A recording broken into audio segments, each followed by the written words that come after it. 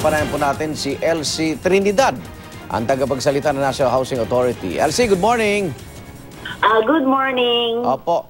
Paano yung magiging proseso? Ah, kasama pa rin ba yung mga bahay na patuloy daw na kinakaltas no, sa sweldo ng pulis at sundalo na benepisaryo dyan? Ah, na ito'y ilipat na lang sila sa mga bagong project? Ah, ah, ganito po yun, ano? Oo. Ka- um, ang NHA management po ay may mga proposal ah, na inihayag doon sa pagpupulong kahapon. Opo. Ah, gusto ko lang pong linawin na ang position po ng NHA management dahil po kinilala at sirespeto namin yung gesture nila ano po na magkaroon ng dialogo Mhm. muna. Kasi po ang dami na rin tumatawag sa amin kung bakit nagkaganon yung decision kasi a lot expects no or halos lahat na i-implement ang eviction order na yon. So, mutual po yung decision na hindi itutuloy yung eviction or implement your eviction order. Opo. Yung after serious consideration, gusto ko ring ipaalam that kahit nung unang nakikipagtalakayan po kami, kahit yung araw dumating yung eviction, dialogue still open to us. So, yung proseso po kahapon na pinagdaanan, NHA management has taken that position po that pursuing a peaceful resolution to the issue extends beyond the seven-day eviction Opo. order. Opo. Kaya ho, in-extend po ang NHA ng listening process. Mhm. So, in the listening process, yung decision po ng Kadamay at Makabayan Block at NHA, may kaakibat na responsibilidad po. ah. I mean, the decision not to implement the eviction order, may kaakibat na responsibilidad sa bawat panig. Opo, kahit pa paano po, naiwasan po Oh. yung karahasan. Ano po?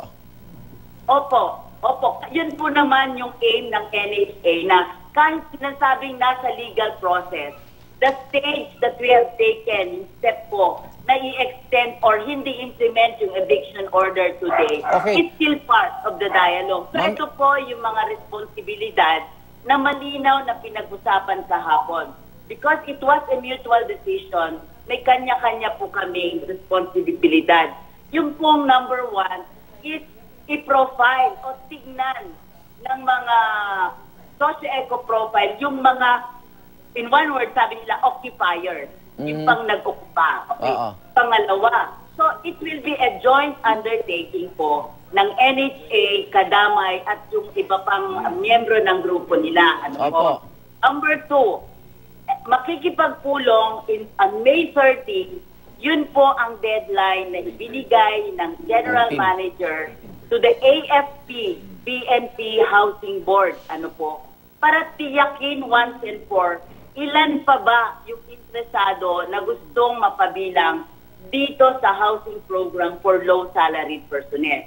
So by that time, we hope may datos na po tayo.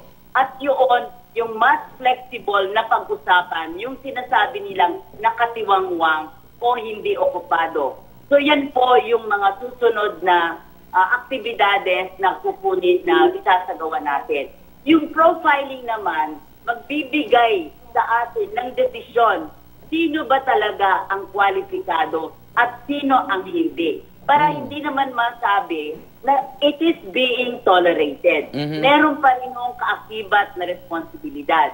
Thirdly, ipapursue o ipagpapatuloy ng NHA yung processing niya doon naman sa nakapila sa amin para makabuo ng programa in 2018 at mapunduhan. Mhm. Pang-apat, ipinagpapatuloy ng NHA yung inventory na ng mga housing units that could be made available to the other socialized housing beneficiaries na nakapila po. Mhm. Mas panglima, hinikayat po ni GM, nakiusap po na habang isinasagawa itong mga desisyon ng kaparehong panig, the Kadamay and other organizations for that matter should also police their ranks. So, ito po yung mga napag-usapan kahapon. May mga detalye pa po, pero pagkatapos po itong profiling, magkakaroon po ng mas malinaw. Okay. Kasi meron pa rin ho tayong ah, ah, kailangan kilalanin ano yung mga informal settler families na nakatakdang ilipat from the danger areas this summer break. Yung, So, yung bayad, ah, Ma'am Elsie, yung bayad, fully subsidized ba ng gobyerno o meron pa rin bahagi dyan ng kadamay? Ah, meron po ayon sa housing, sa polisiya po natin sa socialized housing, ano po, in general, may bayad, hindi po libre. Ano Okay. po? Ngunit subsidized, ano? Meron pong kaltas agad na amount ah, doon sa bahay at lupa. Pangalawa, may buwanang bayad. Pero dito po sa off-city resettlement, katulad ng Pandi, sa unang taon, wala po silang bayad. Okay, Ma'am Elsie, yung taon, Ma'am Elsie, yung ibibigay niyo bang bahay, may naka-okupa o wala? Pumayag ba yung ah, nagbabayad na nung bahay na yon? ay titiyakin po na either wala talaga, hindi hindi na awarded. Kasi Okay. po, magkaiba po yung occupied Opo, ay opo. unoccupied sa awarded. Opo. It may be unoccupied, pero awarded, Awarded. na. Opo. Yeah. So, titiyakin po sa inventaryong ginagawa ng NHA at makikipagpulong po sa AFP-PNC na tiyakin kung awarded man, interesado pa ba. Kung unoccupied, yun, kung unawarded, pag-uusapan po. Kasi Okay. lahat ito nakita nila unoccupied.